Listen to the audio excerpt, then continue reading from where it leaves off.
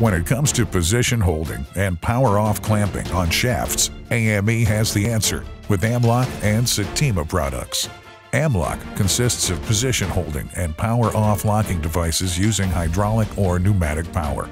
AMLOK rod locks contain an internal wedge system that clamps components after the motion is stopped and are intrinsically locked in the event of power failure.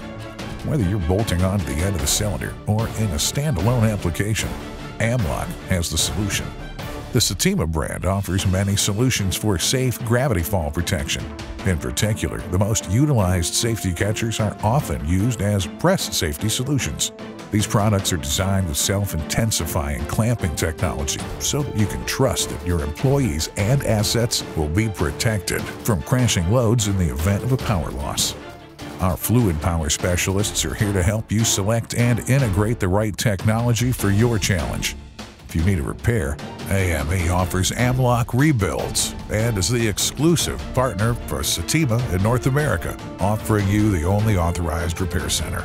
We've also developed a user-friendly website so that you can easily collaborate with our engineers, quickly sharing the information required to solve your problems. Or feel free to call us directly.